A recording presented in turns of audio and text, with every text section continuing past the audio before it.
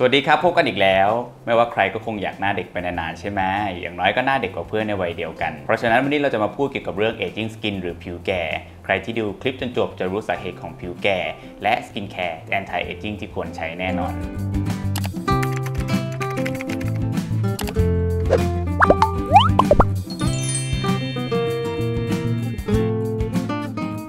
เนี่ยเป็นอวัยวะที่ใหญ่ที่สุดในร่างกายที่คอยห่อหุ้มเราเอาไว้นะครับ มีหน้าที่ปกป้องเราทั้งจาก outside in และ inside out outside in คือปกป้องสิ่งแปลกปลอม เชื้อโรค สารก่อภูมิแพ้ไม่ให้บุกรุกเข้ามา ส่วน inside out คือกักเก็บน้ำไว้ที่ผิว ให้ความชุ่มชื้น ไม่ให้ผิวแห้ง เป็นไงล่ะครับ ผิวหนังที่เห็นบางๆเนี่ยจริงๆมีบทบาทสำคัญมากเลย แต่ผิวหนังก็เหมือนอวัยวะอื่นๆนะครับ มีเสื่อม มีแก่ตามวัย เราเรียกว่าผิวแก่หรือ aging skin ลักษณะผิวแก่เนี่ยจะมีริ้วรอย ร่องลึก อาจจะผิวบาง เห็นเส้นเลือดฝอย หรือว่าผิวหนาหยาบกร้านก็ได้ มีจุดด่างดำสีผิวไม่สม่ำเสมอ ถ้าเป็นแผลก็จะหายช้ากว่าตอนเป็นหนุ่มสาว เรารู้มานานแล้วนะครับว่าสาเหตุของผิวแก่เนี่ยแบ่งง่ายๆเป็น 2 อย่างหนึ่งเลยคือปัจจัยภายนอกซึ่งหลีกเลี่ยงได้ อย่างเช่นรังสี UV มลภาวะฝุ่น PM 2.5 รวมถึงการสูบบุหรี่2คือปัจจัยภายใน อันนี้นี่หลีกเลี่ยงไม่ได้นะ เช่นอายุที่เพิ่มขึ้นและระดับฮอร์โมนที่ลดลง แต่ว่าการค้นพบ autophagy เนี่ยทำให้เรารู้วิธีชะลอผิวแก่มากขึ้น การค้นพบ autophagy เนี่ยยิ่งใหญ่มาก ยิ่งใหญ่ขนาดที่ทำให้โยชิโนริโอซุมิผู้ค้นพบ autophagy ได้รับรางวัล Nobel Prize สาขาการแพทย์ในปี 2016 คำว่า autophagy เนี่ยมาจาก auto แปลว่าตัวเอง ส่วน phagy หรือ phage เนี่ยแปลว่ากิน เพราะฉะนั้น autophagy จึงหมายถึงกระบวนการที่เซลล์กินตัวเอง เพื่อกำจัดขยะ ฟื้นฟูเซลล์ที่เสื่อมสภาพ เพื่อให้เซลล์กลับมาทำงานได้ตามปกติ และนำสารที่มีประโยชน์เพื่อนำกลับมารีไซเคิลใหม่ ลองนึกภาพดูถ้าห้องทำงานเราเนี่ยไม่กำจัดขยะ ไม่นานขยะก็จะเต็มห้องทำให้เราทำงานไม่ได้ คล้ายๆ กับในเซลล์เรา ถ้า autophagy ไม่ยอมกำจัดขยะที่เซลล์ไม่ต้องการออกไป ก็จะทำให้ผิวเสียสมดุล และเซลล์แก่ในที่สุด สรุปแล้วออโตฟากีเนี่ยนอกจากช่วยคงสมดุลของผิวหนังให้ทำงานปกติแล้ว ยังช่วยชะลอผิวแก่ก่อนวัยกระตุ้นแอนตี้ออกซิแดนต์ต้านอนุมูลอิสระ ปกป้องผิวจากรังสี UV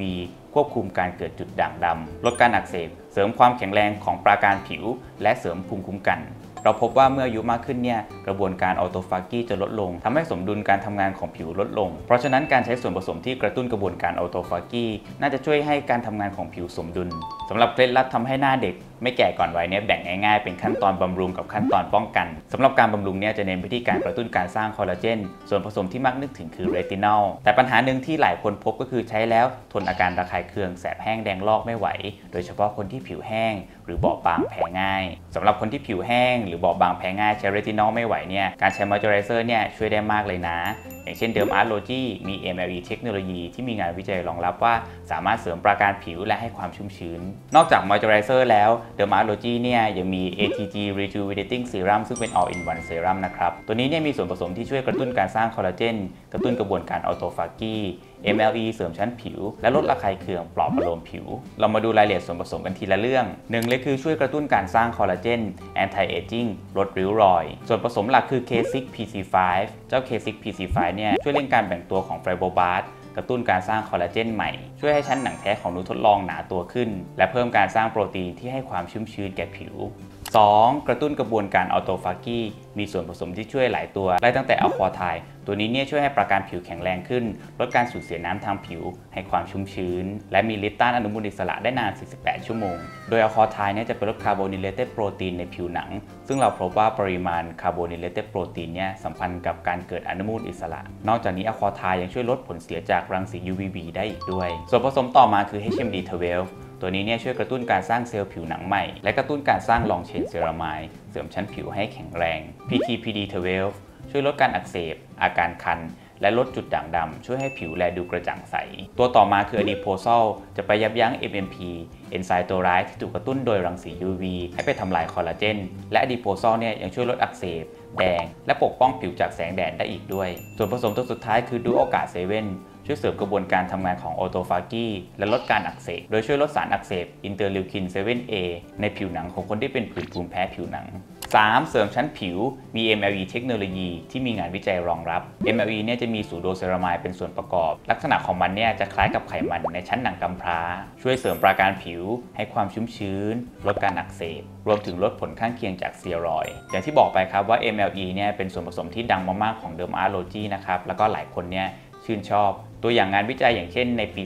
2003 มีงานวิจัยเปรียบเทียบประสิทธิภาพของ MLE กับสารให้ความชุ่มชื้นอย่าง 5%ยูเรีย ในเด็กที่มีปัญหาผื่นภูมิแพ้ผิวหนัง 4 สัปดาห์ พบว่า พบว่า MLE เนี่ยสามารถลดอาการผื่นคันแห้งแดงได้ C คือลดระคายเคืองปลอบประโลมผิว จากส่วนผสมหลายตัวเลยนะครับ อย่างเช่น Centella Asiatica 50%มีทั้ง Asiaticoside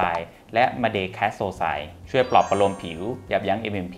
กระตุ้นเซลล์ไฟโบบาส เพิ่มการสร้างคอลลาเจนในผิว และต้านอนุมูลอิสระ ตัวต่อมาคือ Acetyl Dipeptide-1 Cetyl Ester ช่วยลดอาการแสบคัน และสารระคายเคืองผิว นอกจากนี้เนี่ยยังมีไนอะซินามายใส่มา 5%นะครับตัวนี้นี่มีประโยชน์เยอะมากถึง 6 ข้อ 1 เลยคือกระตุ้นการสร้างคอลลาเจนในผิวหนัง 2 คือกระตุ้นการสร้างเซรามายในผิวหนัง ช่วยลดการเสียน้ำทางผิว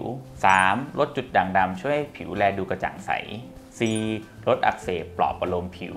5. ต้านอนุมูลอิสระ และ 6 คือแนซินามายเนี่ยช่วยคุมความมันได้ด้วย นอกจากนี้เนี่ยมีแพนทินอลAllantoin Dipotassium Glycyrrhizate ช่วยปลอบประโลมผิว ตัว ATG Rejuvenating Serum เนี่ย texture เป็นเซรั่มเหลว บางเบาซึมง่าย แนะนำให้ใช้ในขั้นตอนของเซรั่มทาทั่วหน้าและคอวันละ 2 ครั้งเช้าเย็น ตัวนี้เนี่ยใช้ได้กับทุกสภาพผิวรวมถึงผิวบอบบางแพ้ง่าย โดยสรุปแล้ว ATG Rejuvenating Serum เนี่ยเหมาะสำหรับใช้ร่วมกับ skincare ที่กระตุ้นการสร้างคอลลาเจนอย่างเช่น retinol L-ascorbic acid หรือ glycolic ช่วยกันหลาย ๆ กลไกคนละไม้คนละมือ หรือในคนที่ผิวแห้งบอบบางแพ้ง่าย ที่ใช้เรตินอลไม่ไหว ก็สามารถเริ่มจาก ATG Rejuvenating Serum ก็ได้นะครับสำหรับส่วนผสมอื่น ๆ ที่ช่วยกระตุ้นการสร้างคอลลาเจนก็กล่าวไปแล้วก็อย่างเช่น วิตามินซีในรูปของ L-ascorbic acid อย่างเช่น Skinceutical CE หรือว่า Mesoacetic AOX ferulic และ glycolic acid ซึ่งทั้ง 2 ตัวนี้เนี่ยก็อาจจะระคายเคืองผิวได้เช่นกัน ถ้าใช้ในความเข้มข้นที่สูง เพราะฉะนั้นช่วงแรกที่เริ่มใช้เนี่ยแนะนำให้เริ่มจากเปอร์เซ็นต์ความเข้มข้นต่ำๆก่อน และมอยเจอร์ไรเซอร์เนี่ยสำคัญมากนะ ช่วยลดอาการระคายเคืองได้ แนะนำทาวันละ 2 ครั้งเช้าเย็น หรือว่าทาได้บ่อยๆตามต้องการสำหรับขั้นตอนบำรุงผิวกระตุ้นการสร้างคอลลาเจนก็หมดแล้วนะครับ มาถึงขั้นตอนป้องกันไม่ให้คอลลาเจนถูกทำลาย จะเน้นไปที่การทากันแดดที่มีค่า SPF อย่างน้อย 30-50 PA 3บวกถึง4บวกและแนะนำให้สวมหมวกกางร่มเดินในร่มเงาทุกครั้งที่ออกนอกบ้าน ตัวอย่างกันแดดก็อย่างเช่น Heliocare 360 Gel Oil Free ตัวนี้เนี่ย SPF 50 PA 4 บวก เหมาะสำหรับคนที่ผิวมันผิวผสม มีเทคโนโลยี Fernblock ต้านอนุมูลอิสระ ปริมาณที่แนะนำนะครับก็คือ 2 ข้อนิ้ว ทาทั่วหน้าแล้วก็คอ 15-20 นาทีก่อนออกแดด แนะนำทาเป็นประจำให้เป็นนิสัยทุกเช้าสำหรับใครที่ดูแล้วยังสงสัยสามารถ comment ทิ้งคำถามไว้ข้างล่างนี้ได้นะครับหวังว่าคลิปนี้จะเป็นประโยชน์สำหรับทุกคนที่มีปัญหาริ้วรอยก่อนวัย ผิวคล้ำเสียจากแสงแดดและมลภาวะ รวมถึงคนที่มีปัญหาผิวบอบบางแพ้ง่าย ที่เคยใช้เรตินอลแล้วทนอาการแสบแห้งแดงลอกระคายเคืองไม่ไหว